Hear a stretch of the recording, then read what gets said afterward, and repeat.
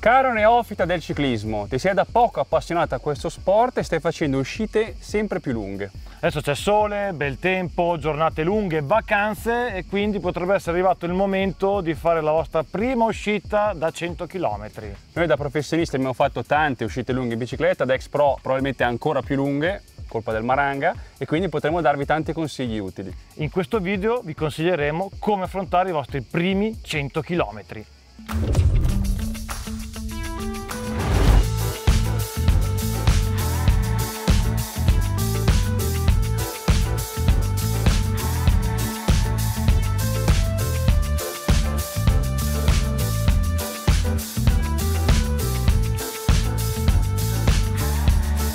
Primo consiglio, imparate dagli esperti. Uscire in compagnia può essere utile perché avete qualcuno di più esperto al vostro fianco e farete anche meno fatica stando a ruota. L'importante è che questa persona sia di buona compagnia e non sia sempre in modalità racing perché se poi andiamo sempre ad alta intensità per stare dietro il nostro amico rischiamo di non arrivare neanche a casa. Esatto. Ciao Giorgio, ti andrebbe di accompagnarmi per i miei primi 100 km? Mm, no, a posto così, grazie. Ecco, se il vostro amico in questione è Giorgione, potrebbe andarvi molto male. Maranga, l'ultima volta che mi ha chiesto di fare un giro erano 400 km, direi che ho dato. Capito? Ma una volta non fa statistica. Cioè.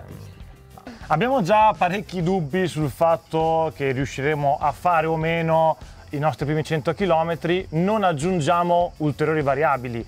Prepariamo prima di partire un percorso che può essere adatto a noi si può usare Google Maps, ma ci sono anche app specifiche per il ciclismo, Giorgione. Sì, Google Maps è un buon punto di partenza per avere più o meno un'idea di dove andare, però app come Strava permette di pianificare un percorso adatto alle biciclette, selezionando anche il tipo di superficie.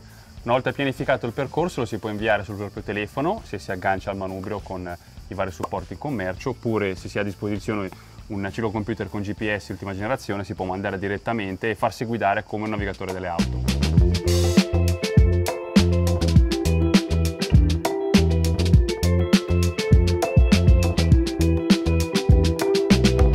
Delle paure principali che può avere una persona che si approccia per la prima volta ai 100 km è quella dell'inconveniente, bucare, rompere la catena, il cambio. Sono solo alcuni degli scenari in cui nessuno vorrebbe immaginarsi. Esatto, quindi prevenire è meglio che curare. Se abbiamo un cambio che fa rumore o che salta, registriamolo. Se la bicicletta è completamente sporca, non riusciamo nemmeno a vedere se c'è qualcosa che non va, puliamola. Se abbiamo le gomme sgonfie, non ci ricordiamo l'ultima volta che le abbiamo gonfiate, gonfiamole se si vede la tela del eh, copertone esatto. se è completamente piatto, probabilmente bisogna sostituirlo. Forse. Quindi sono tante cose che è meglio controllare prima di uscire per evitare poi inconvenienti.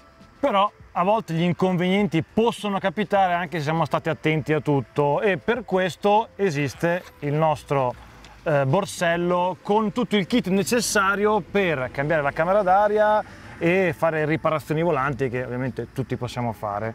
Abbiamo la camera d'aria, la bomboletta CO2, abbiamo il multi-tool e infine due cacciagomme per togliere il copertone. Anche se abbiamo un sistema tubeless che quindi si autoripara col liquido sigillante, portiamo comunque queste cose perché in caso di foratura più grave dovremo inserire una camera d'aria dentro il sistema tubeless e mettere magari anche una toppa all'interno della gomma.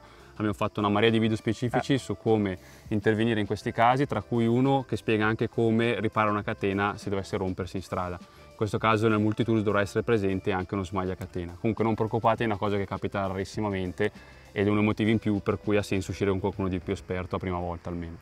Cercate possibilmente di utilizzare un abbigliamento tecnico adeguato e non le maglie di cotone che si usano nella vita di tutti i giorni. Questo aiuterà a rendere la vostra uscita sicuramente più piacevole, come anche utilizzare i guantini che noi non mettiamo mai, Giorgione, però quelli fanno comodo. Questo è un discorso di sicurezza, perché quando si cade la prima cosa che si appoggia sono le mani e se non avete i guantini ve le grattate per Non prendete esempio di noi in questo caso. Altra cosa ovviamente riguardante la sicurezza è il casco. Non è obbligatorio per legge, ma vi invitiamo sicuramente a metterlo, non ci avete mai visto senza casco perché è una cosa che va indossata assolutamente. Aggiungerei anche gli occhiali, perché se fate una lunga uscita è possibile prendere insetti o sassi negli occhi e questo potrebbe rovinare in maniera drastica la vostra avventura. Non dovete spendere 1000 euro di kit inizialmente per uscire in bicicletta, basta veramente comprare cose entry level, però prendetele almeno queste cose perché altrimenti non va bene. Sempre in tema sicurezza può essere interessante far sapere a chi ci vuole bene dove siamo, quindi si possono attivare le funzioni beacon sia su Strava che su Garmin, quindi sono dei tracciatori che fanno sempre vedere dove siamo, c'è anche una funzione sicurezza che in caso di caduta il Garmin può chiamare. Ne abbiamo parlato recentemente. Oppure molto più semplicemente si possono usare dei tracciamenti come quelli di WhatsApp o quelli che usa Apple, però l'importante è far sapere dove siamo perché se non possiamo chiamare almeno ci vengono a recuperare. E così chi è a casa è anche più tranquillo, o no?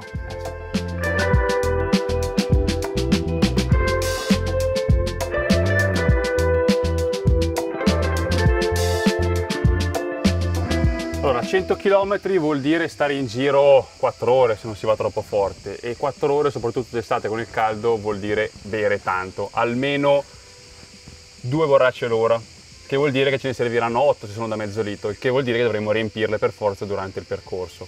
Oltre al bere è importantissimo ovviamente anche il mangiare. Ehm, è difficile dare un consiglio preciso, ci sono persone che pedalano e in 4 ore non mangiano quasi niente, fanno solo colazione, chi si ferma 3-4 volte al bar, chi prende solo gel, barrette oppure carboidrati solubili nella Sì, borraccia. e chi si porta l'equivalente della cena di Capodanno, Esatto. insomma ognuno fa un po' quello che gli pare, l'importante è trovare la giusta strategia per voi. Direi che inizialmente è meglio esagerare piuttosto che rimanere senza, quindi portatevi più cose da mangiare, al limite eh, ve le siete portate dietro C'è come nel peso dubbio, dice esagero. e, e no- non rischiate di rimanere senza benzina perché alla fine sennò diventa complicato arrivare a casa.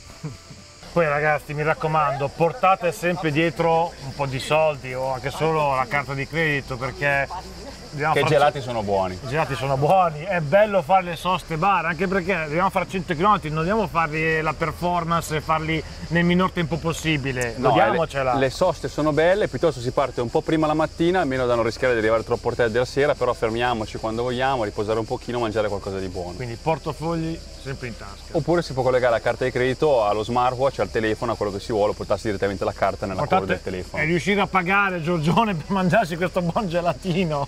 Ultimo consiglio, divertitevi, state scoprendo un mondo bellissimo, man mano che aumenterete i vostri chilometraggi e allungherete i vostri giri potete vedere posti nuovi, quindi sarà sempre più divertente. Se questo video vi è piaciuto e vi è stato utile, un bel like, condividetelo con i vostri amici che non hanno ancora fatto 100 km e arrivederci alla prossima puntata. Buono sto gelato, eh? Eh, vi sono detto portato. Ha giù da solo? Ho già finito?